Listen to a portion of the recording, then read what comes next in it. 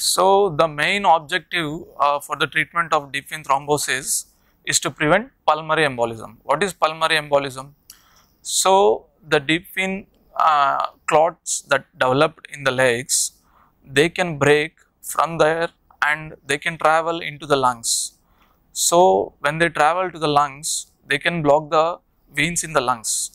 So, what happens if the veins in the lungs blocked?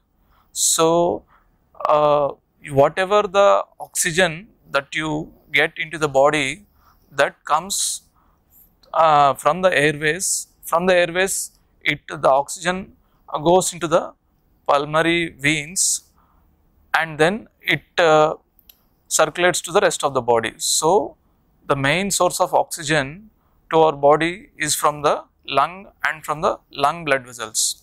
So, if the lung blood vessels are blocked due to these clots, the oxygen levels in your body will drop.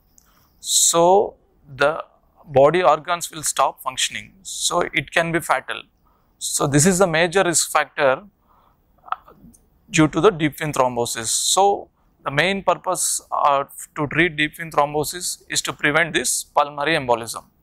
So, other other aims are to decrease the local symptoms, to decrease the local swelling, pain, edema, redness. So, these are all sh should be controlled.